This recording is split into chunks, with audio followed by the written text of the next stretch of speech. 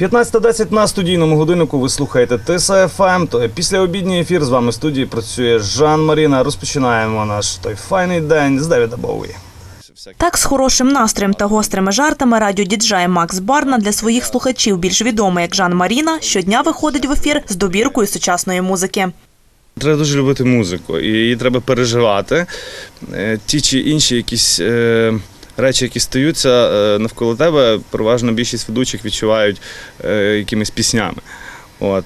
І коли ти працюєш радіоведучим, ти той чи інший настрій передаєш своїм слухачам.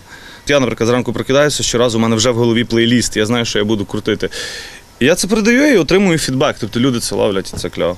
Відчувати настрій слухачів та розуміти, чого вони хочуть. Головне у роботі, каже Вікторія Петішко, яка працює радіоведучою понад 10 років.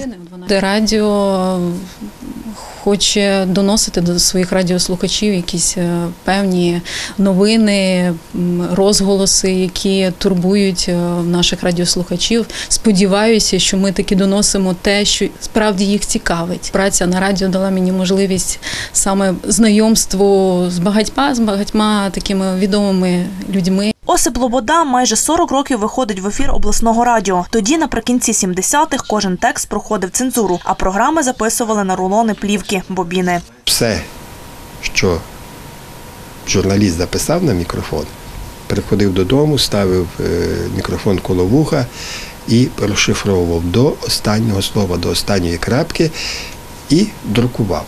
Тому що потім приходив е, літ-редактор або тоді ми казали цензор, і все це читав. І не дай Боже, якщо він щось там е, виловив те, чого, е, що було заборонено. Аби робити якісний контент, треба жити роботою на радіо, каже продюсер Михайло Івченко. Для мене радіо це взагалі життя, тому що я, я так думаю, що я такий проник, проникнений, навіть не проникнений, просякнений радіо, радіошник. Тобто я працюю на радіо вже, скільки себе пам'ятаю, напевно, десь з 2001 року. Це вже моя друга радіостанція, яку поміняв. І ну, для мене радіо це, це життя, я його люблю.